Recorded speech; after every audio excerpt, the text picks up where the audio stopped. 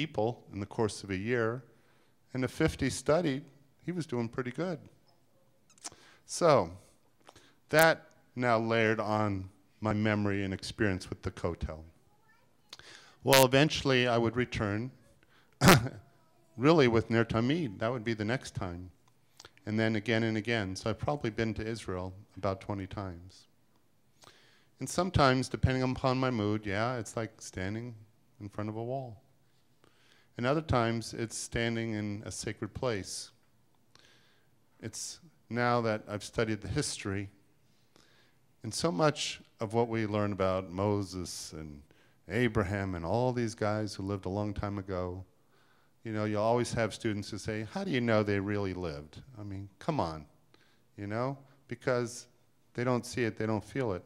But somehow that wall got there. And somehow that wall is over 2,000 years old. So somehow that, looking at that wall, and you know that it extends all the way back to King David and beyond, you, guess what? That, that is something that emboldens faith. And so it becomes a symbol that you internalize as a source of strength of personal faith, and that's what it's done for me. And so when I go there and people give me prayers and put the prayers in the wall and, and leaders from around the world go there and, and the Jews have risked their lives to protect that wall, it, it somehow makes it all come together. But now we have something that threatens to, to tear that wall down. We have controversy. And I'm, I'm, I'm kind of ambivalent on this controversy. Everything I read tells me I should stand before you and jump up and down and try. Because everything that is coming out of the reform movement right now is exactly that. And we'll talk about it. There is such rhetoric decrying the decision and decrying what, what happened in Israel. I feel like I need to join that chorus but I can't quite do it. And part of the reason I'll share with you now, but part of the reason we'll talk about. And basically, what happened was um, there has been a movement actually led by the Women of the Wall and Anat Hoffman, who is the head of the Reform Movement Religious Action Center in Israel. She's spoken in Las Vegas many times, and she um, spoke to our last Ner Tamid group when we went to visit her. She has risked her life, her freedom, to bring a Torah to the Kotel so that women could pray there. And of course, that put her in jail and it caused a lot of controversy, and it is a matter of great passion. For Jews in the diaspora, when we read these headlines, we go, Israel doesn't recognize who we are. They just want our money, but they don't think we're Jewish. And who are these Orthodox Haredim to tell us what we can and can't do. And so it's, it's problematic. And what the agreement was, several years in the making, and Natan Sharansky was the one who was asked to negotiate it, was that the Kotel, the iconic Kotel, would remain pretty much as it is, men on the left side, women on the right side, and then near Robinson's Arch, kind of like around the corner and to the right, there was a platform that was set up which would allow for egalitarian prayer, men and women praying together. Now, one of the reasons I'm not jumping up and down is I have been to the Kotel a lot, and I went to the left with the men, and my wife went to, to the right, and you know, it was 15 minutes of our life, and I didn't feel discriminated. I really didn't. It just was the custom of the place, just as if I went to an Orthodox synagogue that's what I would do. I had nothing in my mind that said, you have to change for me. I, I just didn't feel like it. I felt like this is the tradition that they have. And by the way, it's not a tradition that's thousands of years old. There are pictures um, before 1948 where there was no mechitza, there was no mechitza, and men and women just came and prayed at the wall. So definitely it is something relatively new. But that's what's the status quo there. So in the egalitarian section, I did a bar mitzvah for, uh, for Matthew from our congregation, and it was great. and I went another time with colleagues, uh, male and female rabbis from around the United States, and we prayed there, and it was great. But it is so much around the corner and not near the iconic Kotel, I, it actually made me feel worse. And so what this agreement said that was that they were going to fix it up so it would be beautiful, and that they would remove some of the barriers so that there would be an almost seamless, there would be the iconic Kotel, and then the barriers would be removed so that it would be pretty obvious that they were seamlessly part of the same wall. And there would also be an entrance where everybody would go through the same entrance, which is not the case right now. Right now, the entrance is to the iconic wall, but before you go to that entrance, you can ask directions and it's over there. So they're going to move the entrance and make it nice, and you can go to the right or you can go to the left, depending upon how you want to worship. All of that could be suspended, and if that happens, it will be a tragedy. But that's the question mark. So one side says, ah, now it's not going to happen. And the others say, don't worry, it's still going to happen. And we'll talk about that as well. But the last part of the agreement was what was really frozen. They were going to have a committee made up of the Orthodox and the Reform and the Women of, of the Wall, and everybody was going to have a say.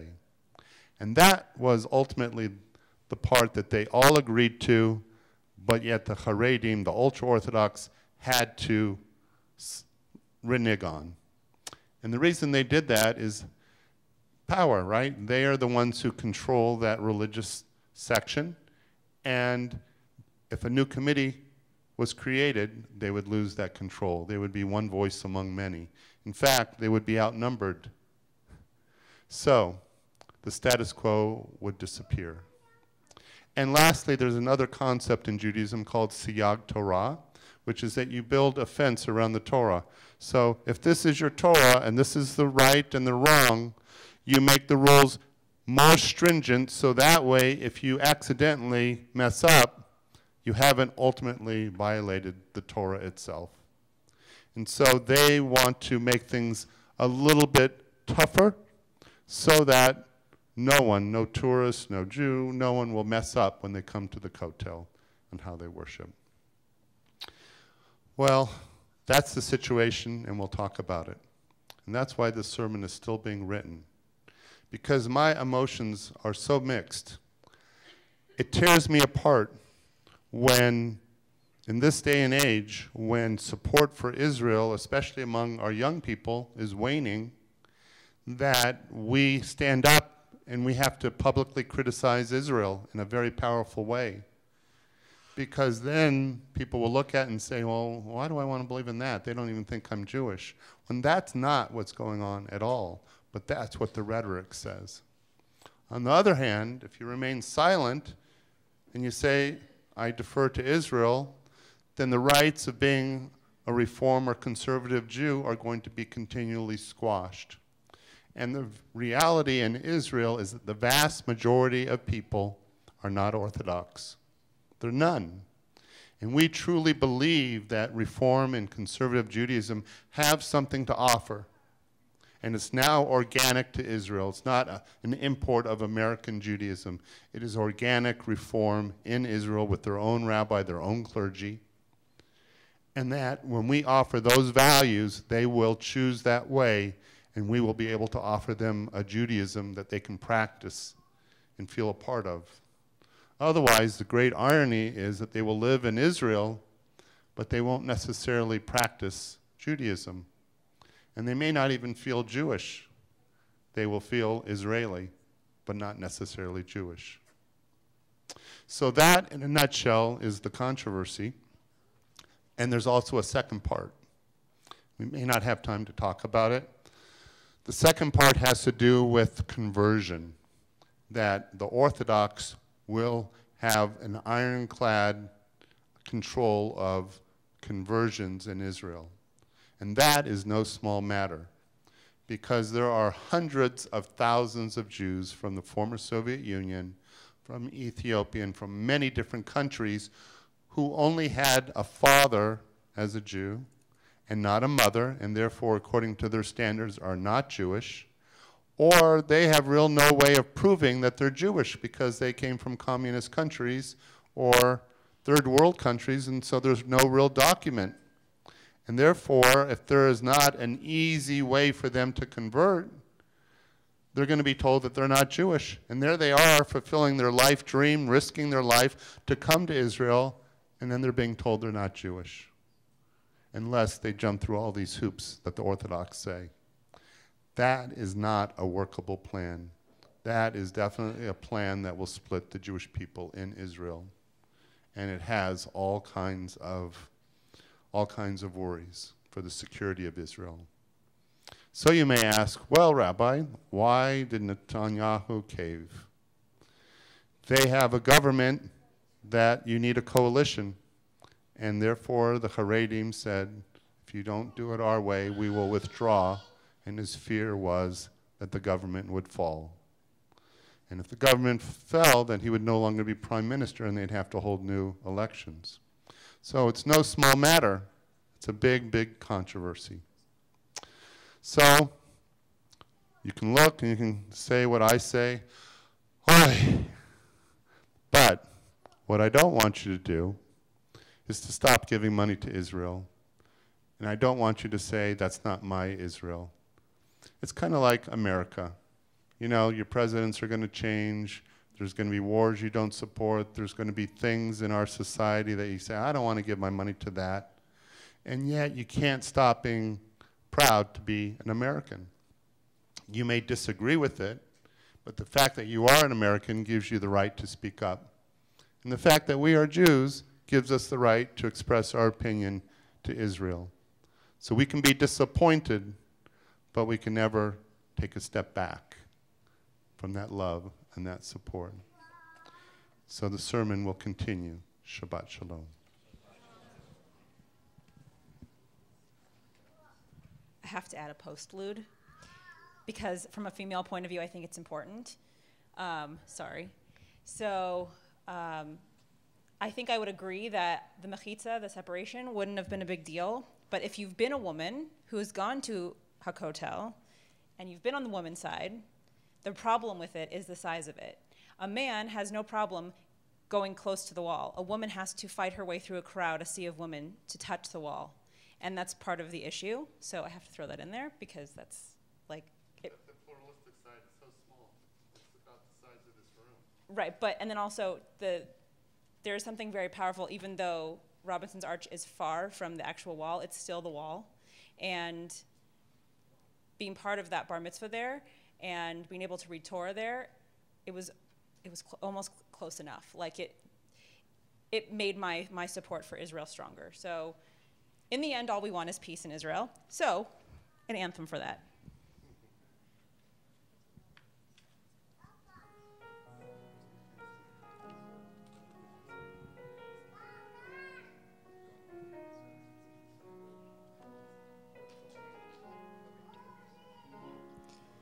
One thing I believe we can all agree on is that we want peace. Indeed, as it is written in the end of the Mishnah, peace is the only container that can hold all the blessings of life together. Sha'alu Shalom Yerushalayim.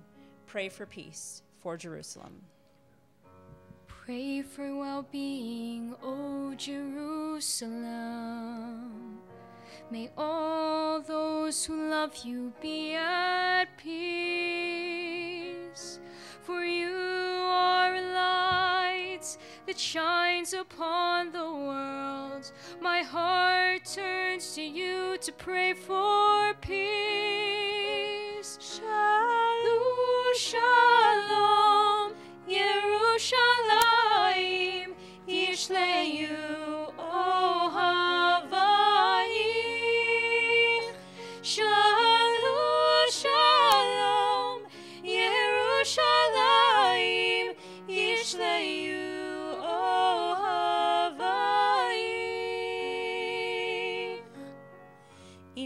אשכחך ירושלים, תדבק אל לשוני לחקי.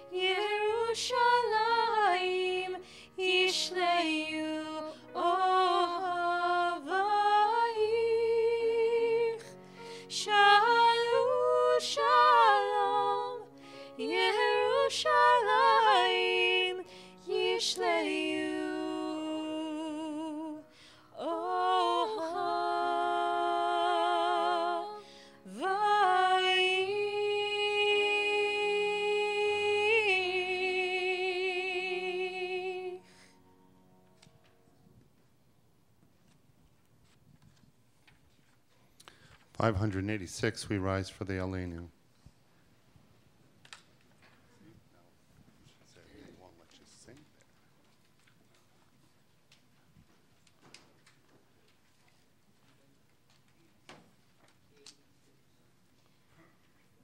Aleinu l'shabeach l'adon hakol Latet gedula leotzer breshit Shelo asanu kegoye haratzot Velo כמשפחות האדמה, שלא שם חלקנו כהם, וגור עלינו ככל המונם, ואנחנו קוראים ומשתחווים ומודים לפני מלך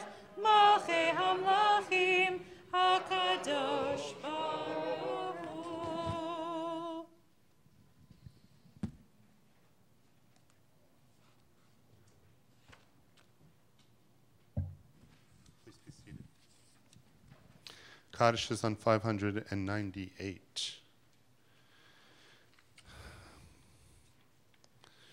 So we think of those who have died in recent weeks Marsha Lewis and David Nathan. The service for David has not been set. Uh, he passed away on Friday and probably will be in, in, a, in a few weeks.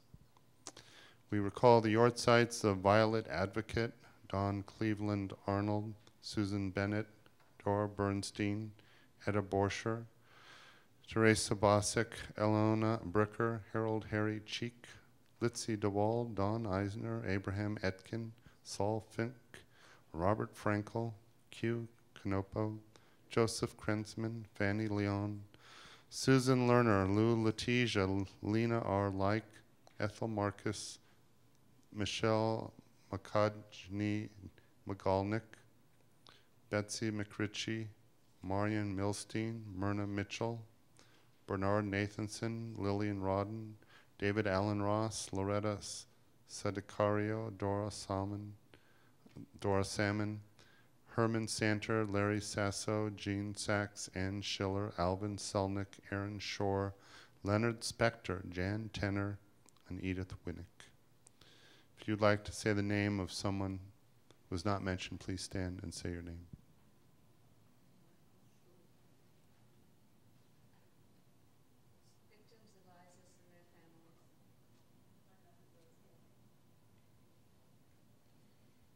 So we think of all these and others, we rise to recite our Kaddish prayer. Yit Kadal v'yit Kadash Shemei Rabbah v'yalma divrach hirute v'yamlich malchute v'chayechon v'yomechon v'chayed achol beit Yisrael. Magalav zman kari v'yamru Amen. Yesh mei Rabba mevorach le'olam omei olmaya Yit barach v'ish tabach v'yit ba'ar v'yit romam v'yit naseh v'yit tadar v'yit taleh v'yit talal shmei dekusha Tush bechata v'nechemata, damiram b'yalma v'yamru amen. Yehi araba min shamayim v'chaim, aleinu v'al kol Yisrael v'yamru amen. Ose shalom b'mromav, hu ya'ase shalom, aleinu v'al kol Yisrael v'yamru amen. May be seated. So, we're going to miss the cantor. She's going on a trip. Do you guys know that? All right. She's either going to A, Pahrump,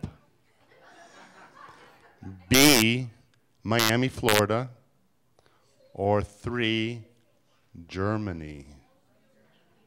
Where are you going? Pahrump. Pahrump?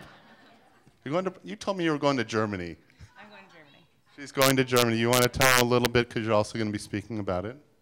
Yeah, so I'll be speaking about it on July 14th uh, when I get back.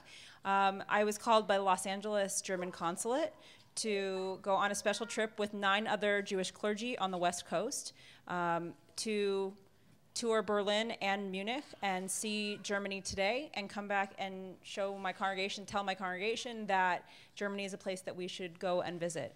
So I'll be meeting with um, German ambassadors, the mayor of Berlin, um, some of the officials, and get to know the inside of, of Germany today. And I'm, I'm excited. I've never been there before. So that will be exciting. So we are moving kind of into our trip, sometimes vacation. So the one holding down the fort is Becky. All right. So uh, that is great. So during the month of July, sometimes you'll see Cantor and Becky. You'll see me and Becky. You might see Cheryl and Becky. You might see Becky all by herself. And if she's all by herself, you love her, right? All right, because she's going to do a great job. But uh, for the most part, there should be a Ner Tamid clergy person in the month of July. There's a few days where our, our trips away overlap, and then a neighboring colleague will, would cover. But uh, we'll, Cantor and I, we won't, well, other than tomorrow, we won't see each other for a month. I don't know how that's going to happen. Huh, I won't survive. That's right. so don't bring back any food from Germany that would spoil. Okay, that's right. No schnitzel, right, unless it's uncooked. Now, does anyone have uh, a tell and kvell at all? Something good that happened that they want to share? Well, I think someone had something good happen that she's too bashful to share. Becky, do you have anything that you're especially proud of that you want to share with the congregation about being published? Uh, this is a piece of mine. Ose Shalom was recently, a couple months ago actually. It was published in the Ruach series. Yes. All right, is that special? And we're going to sing it tonight. Oh, we're going to sing it tonight after the. Okay. So, do you know how rare that is? That is something special. So, we are exceptionally proud of you, Becky. That is great. And she's going to get royalties. So, that's it. So, um, you know, th- she's off the family dime right there. She'll, she'll, you know, get a quarter or whatever it is a month, and that'll, that'll sustain you forever. There you go. That's great. All right, Kiddush and Motzi. Here we go. Kids, come on up. Any kids want to come up and join the cantor and join Adina?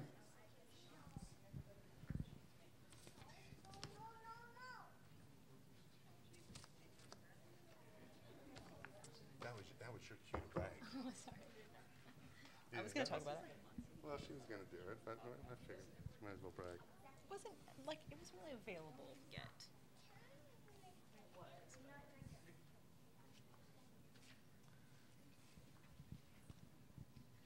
Here, Becky. Mike.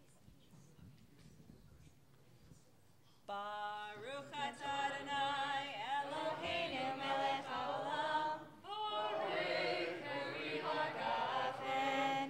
Amen.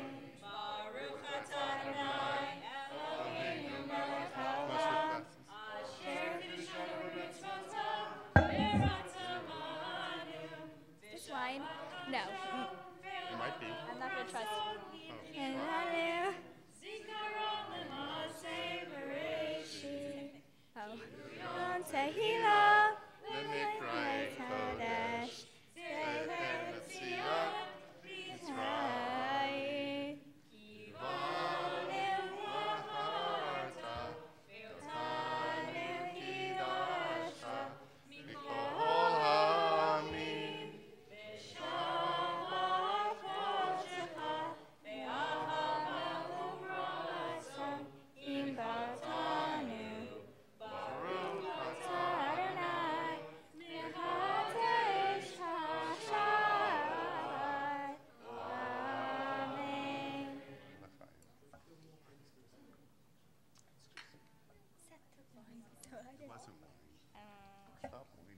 Baruch Adonai Eloheinu melech haolam hamotzi lechem min Supposed to split it.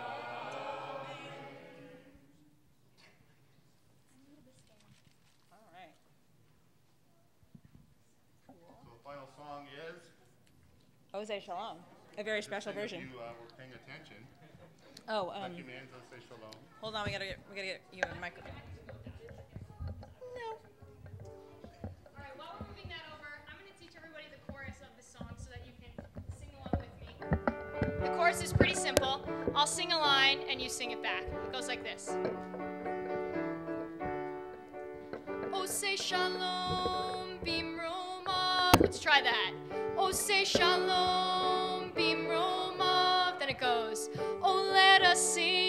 song of peace. Oh, let us sing the song of peace. Salam aleinu ve'al ha'olam. Salam aleinu ve'al ha'olam. And let us sing it in harmony. And let us sing it in harmony. So the whole thing sounds like this. Oh, say shalom, bimromav. Sing the song of peace. Salam aleinu ve'al kol ha'olam. And let us sing it in harmony. Let's try that. Oh, say shalom, bimromav. Oh, let us sing a song of peace. Salam aleinu ve'al kol ha'olam. And let us sing it in harmony. Nice. So that's the chorus of the song. It comes in three times, and uh, Cantor Hutchings and I will sing the verses.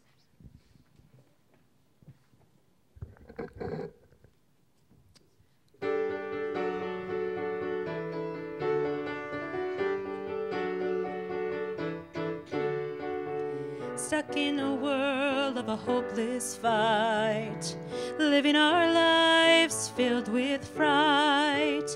We tell our children that this is what's right, and then we never sleep in peace at night. So let's go on hating if that solves anything. But underneath the glaring are eyes that want the same thing. Oh, say shalom, bimromav. Oh, let us sing a song of peace. Salam aleinu ve'al kol ha'olam. And let us sing it in harmony. We say sababa when they ask our that means it's all okay.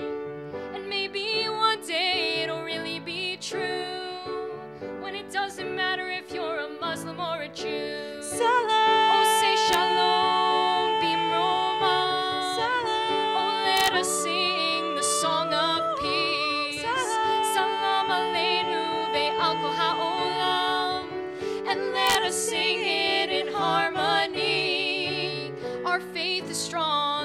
Will to fight.